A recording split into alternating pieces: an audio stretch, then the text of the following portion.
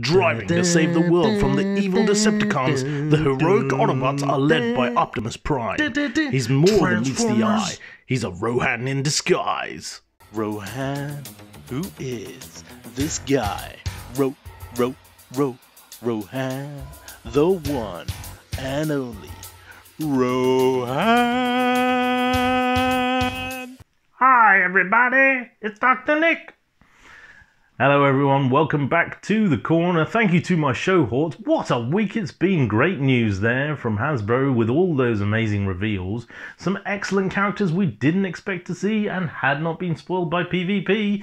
It's always good, isn't it, when you get something fresh? And I will be spending on some of those later in the year. But for now, it's time for a Rohan's Corner through the Generations review of. Ah, my Magic Square Hound still hasn't arrived.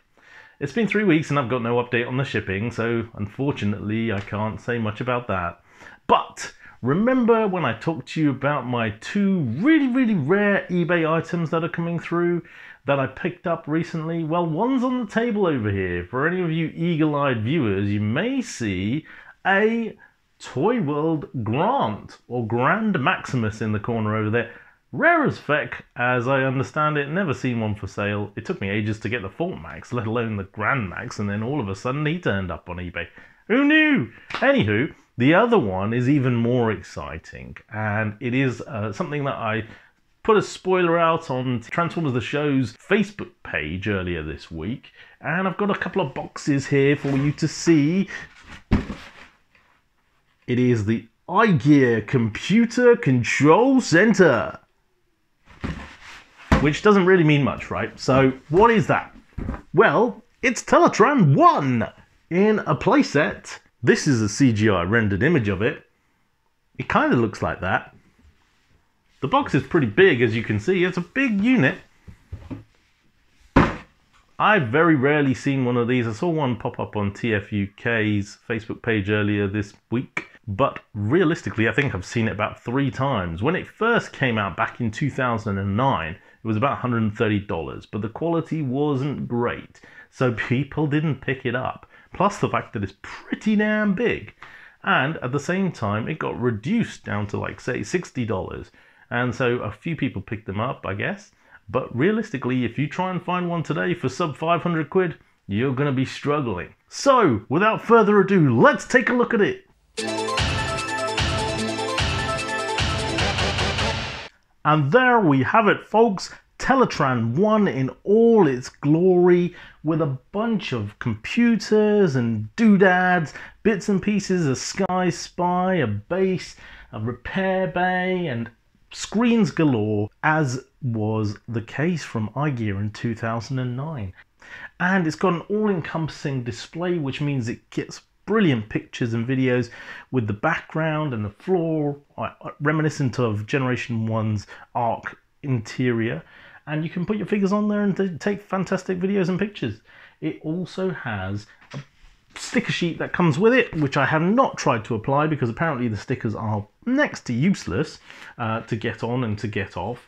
And Toyhax or Repro Labels do a much better set anyway, so I'll be looking at getting that the Sky Spy is a nice addition, which you can hover up there and as if he's flying off into the sky.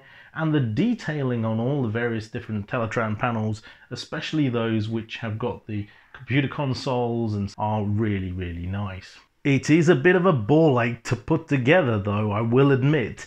It took me a couple of hours and then I built it on the dining table, transported it here, and a few little bits and pieces came apart and so I tried to put them back together and half of it fell apart again. That is the way with this set. It is not designed to lock into place at all. Once you get it in, it falls apart very, very quickly. So you have to be very careful. All the interlocking little pieces are individual panels, as you can see. The floor locks in better than the walls. The walls are terrible. And there's no give in this plastic. So if you need a little bit of tolerance, it just doesn't want to stay. So, for example, on the side walls here, there is a little bit of indifference between the two panels. They don't want to line up, and it really bugs the hell out of me. But it is what it is. You can't do anything about it. If only they built it in magic square plastic, that would have worked. But anywho, that's nothing that a bunch of bulldog clips can't fix. But in terms of scale, how does it work? Here we have a small menagerie splattering of predominantly Legends class figures. You can see I've got some Magic Square smaller mini bots, some large size figures, I've got some MFT and some core class here to showcase how they scale up with Teletraan, New Age, the mini bots, and also Shockwave over there. Carbots to showcase how they look against there. They look a little bit small, but these are New Age of Magic Square to be fair. And then at the end here, I've got Impossible Toys Alpha Trion Generation 1 Optimus Prime, who is a little bit large, I think, personally.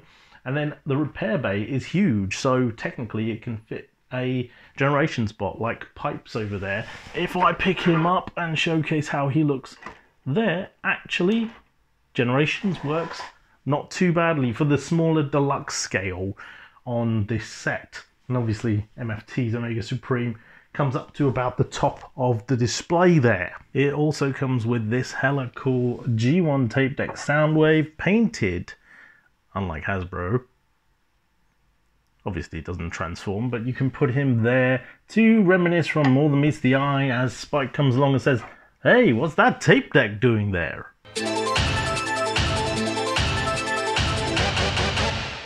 Now, it wasn't cheap, I won't pretend for a moment. However, the amount of play factor this set gives, the amount of aesthetic looks and posability you're going to get from your bots by creating different scenes with this is fantastic. And I think it was worth every penny of what I paid. If you can get one and you don't mind spending a few hours putting it together and you've got the patience, you're going to need a lot of patience. I recommend it if you can find one. If you're a true collector, you need this in your collection. Anywho, that's been Rohan for another week. Thank you for joining me. Catch you again next week. Back to the studio.